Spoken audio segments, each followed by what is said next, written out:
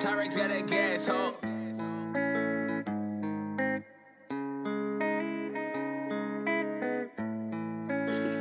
AP made this.